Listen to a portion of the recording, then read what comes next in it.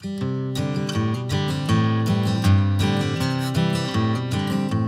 everybody, welcome to another BM formwork video. Today something different, we're going to make honed concrete seats. I've got a step-by-step -step guide on how I did it. So the first step is to build the formwork. Got some form ply here. What you can see here is me putting my Festool guide rails together so I can do nice straight cuts. That's a pencil line there.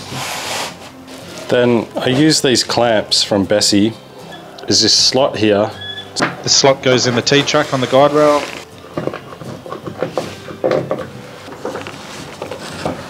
You don't have to use clamps, just means it can't move.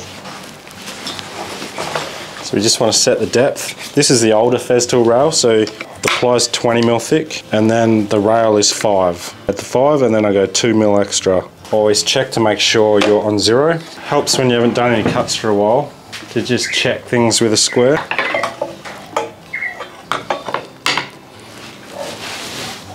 So just take care with all your cuts, get them neat. Here we are, just ripping down all the sides. Perfect cuts every time. Now I've ripped out the miter saw, cut all our pieces to length. Just makes it easier with the miter saw. A nice sharp pencil always helps with accuracy.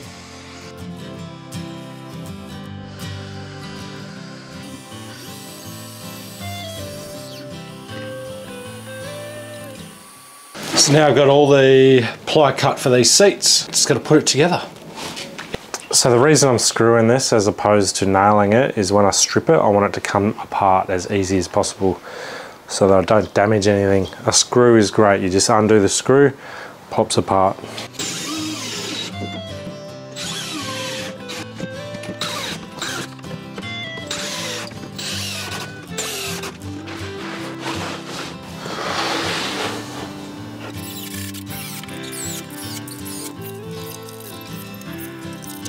Next step is to clean out the forms so they're spotless.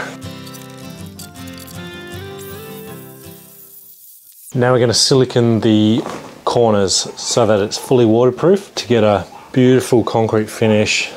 It needs to be fully waterproof. You can't have gaps where moisture can wick away and take little bits of cement with it and you're left with just the sand and the stone. I call that, we call that like a boniness to it.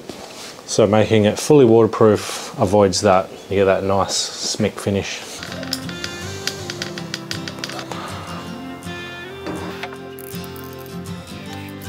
To get the corners nice and smooth, it's just a matter of getting some of the wife's hand soap, bit of soap on the finger, and I'll just go over the edges.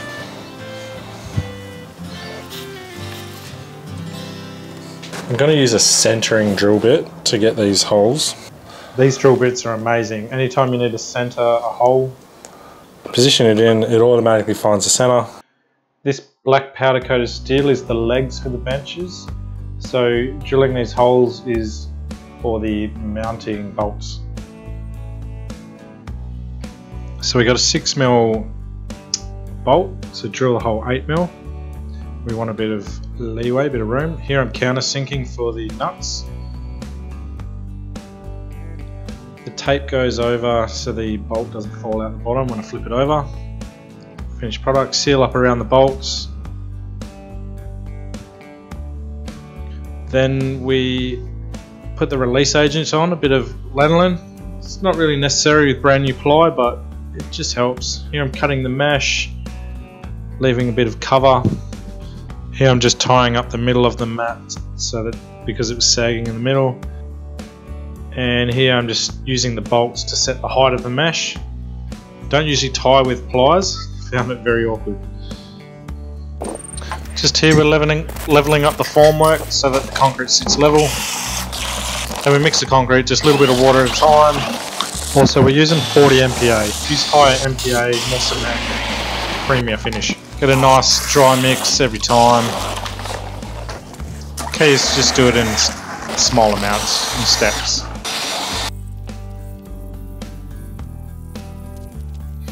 This is pretty easy, didn't take too long.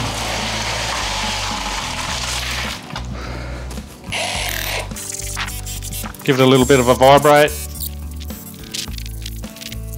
Level it out with the Maggie. See as it vibrated all the air bubbles come out. See them coming up. Probably trying to get out. Clean up the edges before you trowel it. Give it a little Maggie. I'll start with the edges and then work my way around. Don't have to work it too much.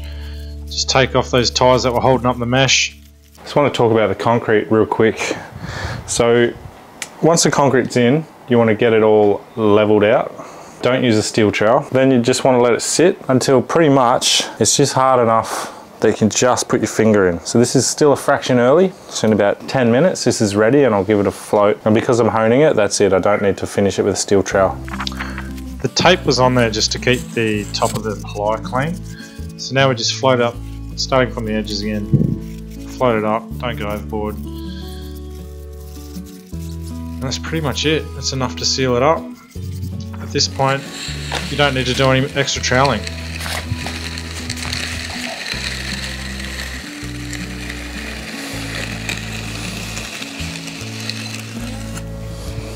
Poured this yesterday, so now we can strip it.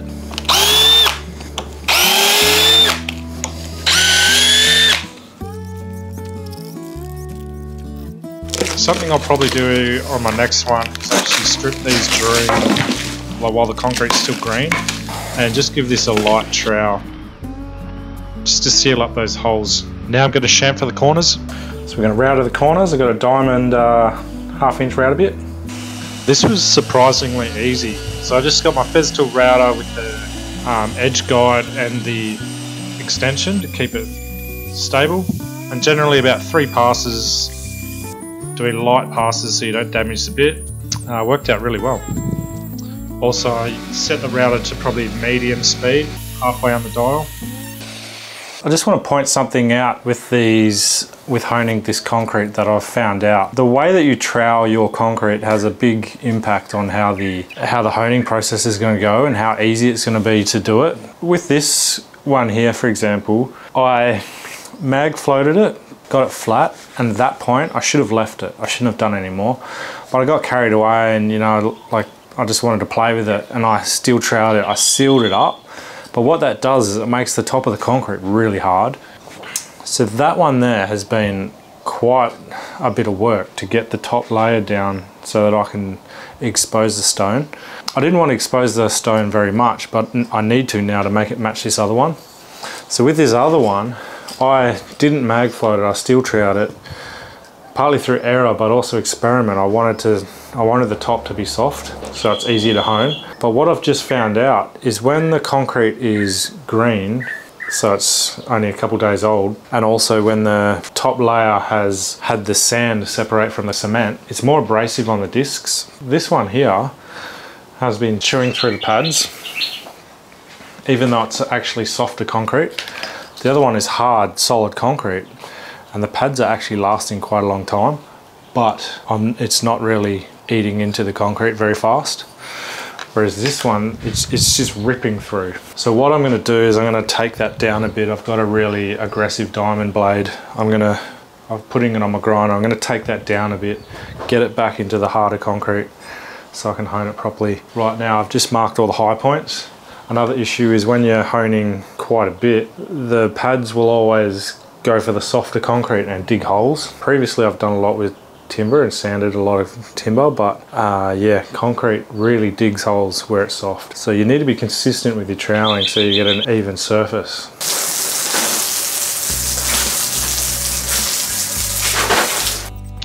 So I wet it down so we can have a dust free work environment. Then just use a straight edge marking all the high points. So the what I've done is just ground down all the high points and now I'm grinding and just working with a pattern. So you go up and down and then left to right. As you see there, left to right, then up and down, clean it off, mark high points, grind the high points. The one on the left is much flatter. At this point I put the legs on just makes it a little bit easier to work with. This worked out so well, setting the bolts the way it did, tiny bit of adjustment, nuts straight on, super tight, super strong, really sturdy. I was really happy with how this came out.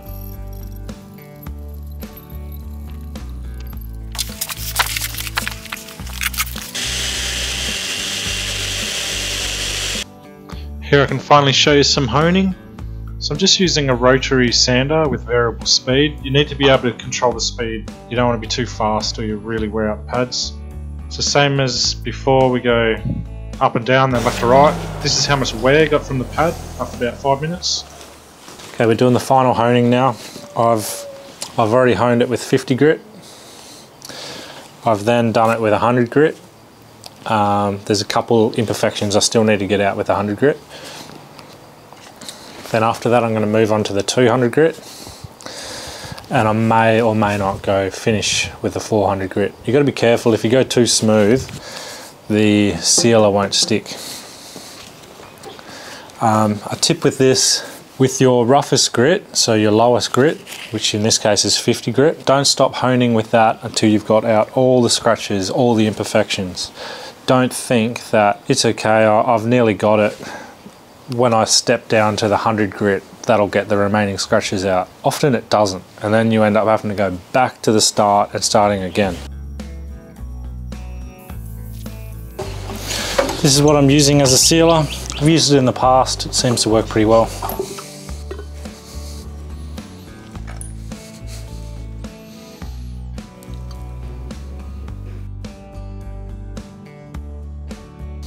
This is a handy trick to stop the splatter when you're shutting the lid.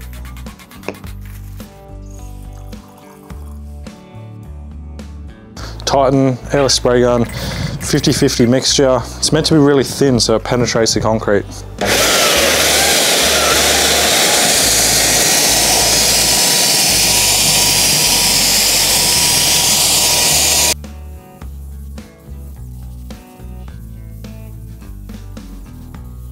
Thanks for watching my video. Hope you guys learnt something. I certainly learnt a lot from doing this. Um, things I could definitely improve on is getting a better finish initially with the trowel. Just here we've got some orange peel effect in the sealer.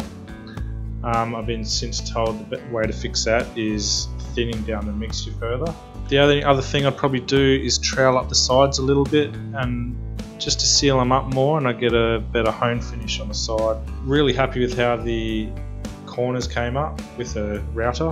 That worked great. And the only other thing I'd probably do is make them a little bit thinner. They were quite heavy. Again, thanks for watching. Hope you enjoyed it. Please subscribe, like, comment. Thank you very much.